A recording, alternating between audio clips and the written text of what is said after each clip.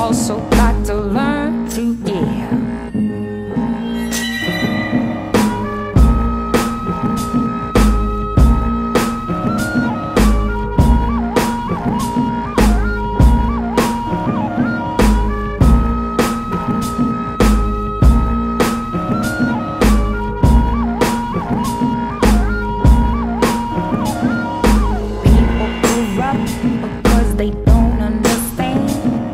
a book of truth and a book of lies. Think with your heart, read between the lines.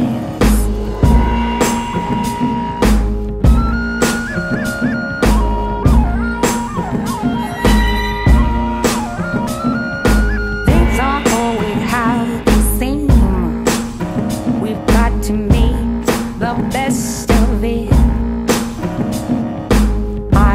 and I